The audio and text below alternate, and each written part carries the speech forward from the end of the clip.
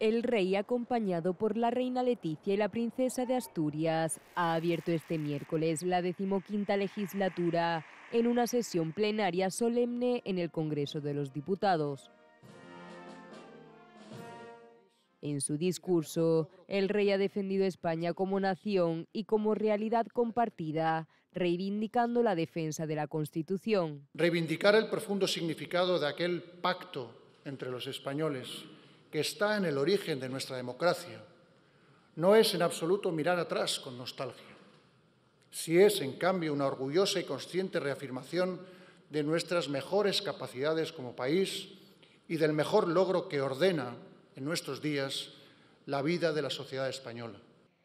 Ante diputados y senadores, entre los que no estaban los representantes de Esquerra, Bildu, Junts y Benega, el monarca ha destacado la necesidad de superar las divisiones. España ha sido una realidad compartida y edificada por mujeres y hombres de diversa procedencia social o geográfica, con ideologías distintas, pero con una idea común, un mejor país para todos.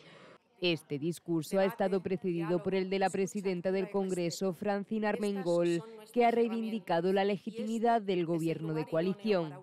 La decisión de esta mayoría parlamentaria es legítima y emana de la voluntad de los ciudadanos ejercida el 23 de julio.